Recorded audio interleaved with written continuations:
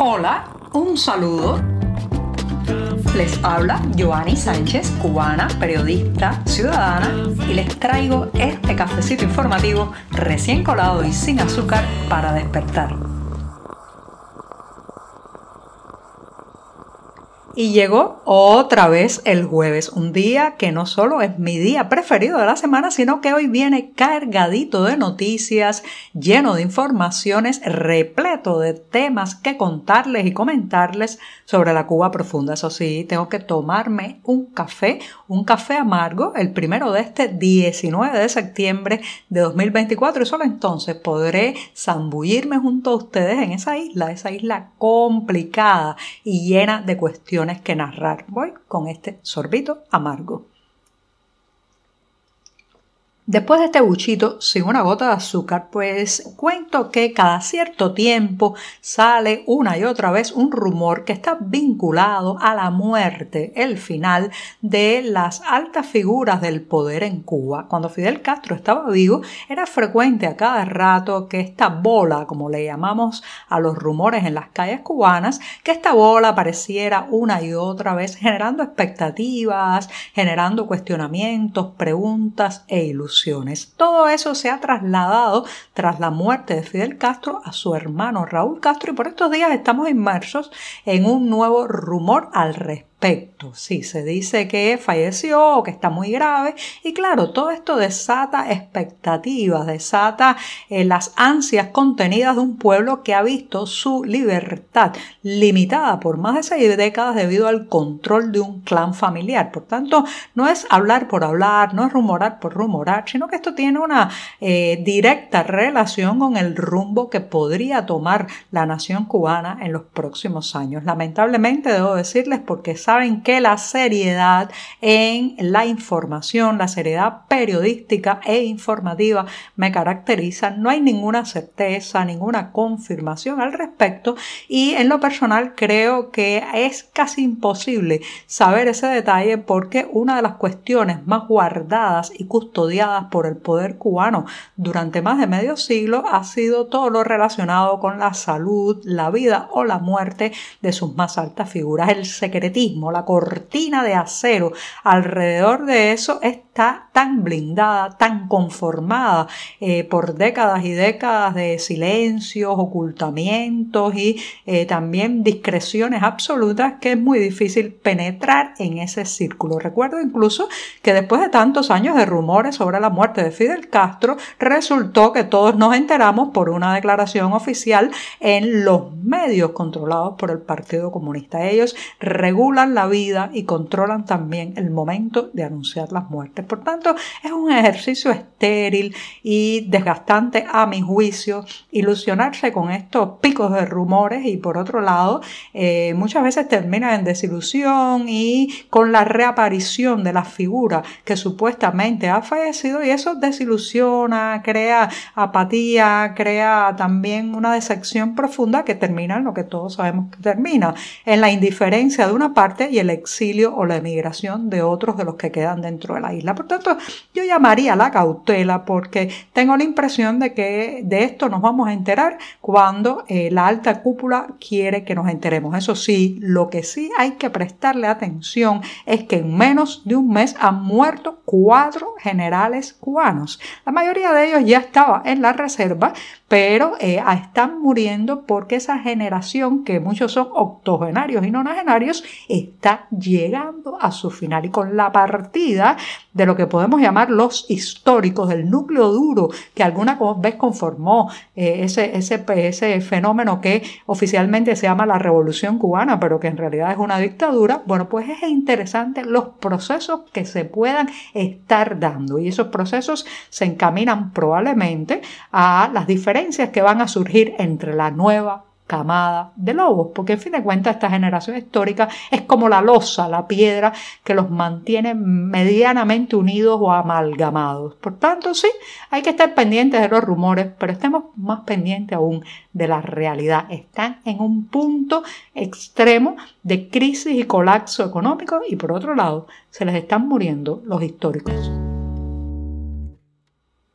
Con su música pegajosa, más que pegajosa, pegajosísima, su rostro siempre sonriente y también aquel legendario grito de azúcar es sin duda Celia Cruz, uno de los grandes símbolos de la cultura cubana. Lamentablemente, durante décadas su nombre fue escondido, escamoteado y sepultado en los medios oficiales de la isla, pero ahora parece bastante interesante el hecho de que durante el próximo fin de semana en el Teatro Karl Marx de La Habana, antiguo Teatro Blanquita, se estará presentando el concurso de música e interpretación eh, Adolfo Guzmán, un certamen que tuvo sus tiempos de oro, pero que ahora está de capa caída y entre las 14 canciones finalistas hay un tema musical dedicado nada más y nada menos que a Celia Cruz, a la reina de la salsa, a la guarachera de Cuba. Esto es bien interesante porque podría verse como una señal de apertura, flexibilización, pero ojo, parece que no es tan así dado que los organizadores del evento le han advertido a la intérprete de esta canción que será la cantante Marisette Fonseca Seca, el texto, es de la, el texto de la canción es de la autoría del granmense César Reyes Ampudia. Bueno, pues le han advertido a Mariset Fonseca que nada, nada de decir frente al micrófono del mayor teatro de la isla que se trata de un tema musical en homenaje a Celia Cruz y mucho menos, mucho menos lanzar el grito de azúcar porque sería más o menos lo mismo, es un grito emblemático de eh, la guarachera de Cuba y claro, pues la gente se daría cuenta de inmediato, es quizás se paran, hacen una ovación más larga, va, y hasta se gana el premio a la popularidad o de la popularidad esta canción que lleva por título Son para ti. Así que habrá que estar pendientes de lo que ocurre en ese teatro, el Karl Marx de La Habana, aunque les advierto que con los apagones que están azotando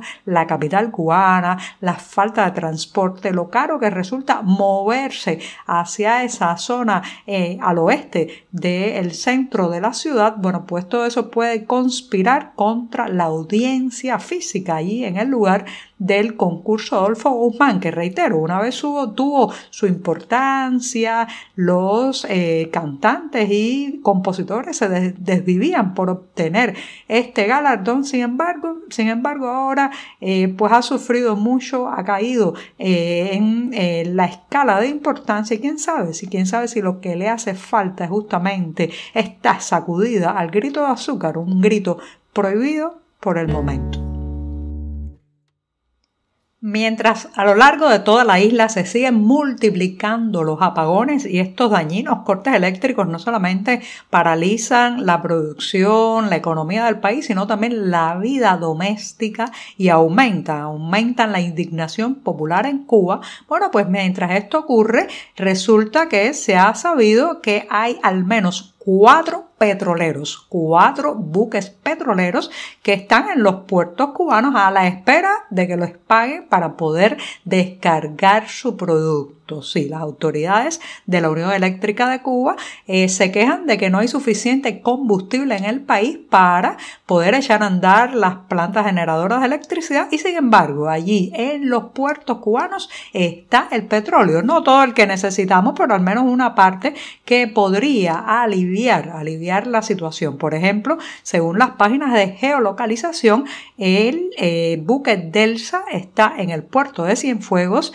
el Prímula en Pastelillo, Camagüey y bueno, pues en Matanza se ubica el María Cristina y el Marlin Arusait. Así que cuatro buques cargados de petróleo que los cubanos pueden ver desde sus costas, pero que no puede llegar hasta esas necesarias y eh, tan importantes termoeléctricas que nutren el suministro de la energía a los hogares y todo el sistema industrial de la isla. ¿Por qué pasa esto? Bueno, porque las arcas están vacías, el régimen está quebrado, ha vivido muchos y muchos años de estirar la mano, pasar el sombrero, pedir limosnas, es un régimen pedigüeño, garrapata. Y bueno, pues resulta que hay muchos países que le han cerrado la pila, el grifo a los pedidos de La Habana y ya no le están dando tanto petróleo como antaño. Y por otro lado, si acaso le dan es, eso sí, no fiado, no regalado, no donado, sino que hay que pagarlo. Por eso, mientras no haya dinero, esos buques estarán allí en nuestros puertos pero fuera del alcance de nuestras termoeléctricas si no hay dinero de por medio. Y llegó ese momento de decir hasta mañana en el podcast de este jueves y voy a acompañar la despedida con una recomendación para quienes estén en la ciudad de Miami, Florida, Estados Unidos. Además de la capital del exilio cubano, Miami se ha convertido en la plaza principal de la cultura de esta isla, dado el éxodo y la migración de tantos y tantos artistas, escritores y fundamentalmente en la escena de teatro es increíble la cantidad de dramaturgos, actrices, actores, guionistas y demás trabajadores de las artes escénicas que se han mudado al otro lado del charco en los últimos años. Y justamente sobre buen teatro cubano voy a hablar porque hasta finales de este mes de septiembre se estará presentando en las tablas de Miami el, eh, la obra icónica del teatro cubano Man ¿sí? Se llama así y cuenta en esta ocasión con las actuaciones de Héctor Medina, Gilberto Reyes y Beatriz Valdez. Un gustazo, un gustazo sobre el escenario. La dirección será de Raúl Martín y les recuerdo que esta pieza teatral es del escritor cubano Alberto Pedro. Se trata de una comedia ambientada en La Habana donde tres hermanos que además viven en un pequeño apartamento les da por criar un cerdo, sí, un puerco hasta que llega la noche del 31 de diciembre. Se supone que es el manjar de los festejos de fin de año, pero cuando tienen que matarlo, bueno, pues resulta que el animal se ha convertido prácticamente en un miembro de la familia. En esa hilarante situación que tantos conocemos muy bien, pues se desenvuelve la obra Manteca. Los detalles del lugar, los horarios y demás los pueden encontrar, como siempre les digo, en la cartelera del diario digital 14 y medio. Justamente sigo en mi trabajo en 14 y medio y me despido de este programa y de ustedes. Hasta mañana. Muchas gracias. Por hoy es. Te espero mañana a la misma hora. Síguenos en 14medio.com. También estamos en Facebook, Twitter, Instagram y en tu WhatsApp. No olvides, claro está, compartir nuestro cafecito informativo con tus amigos.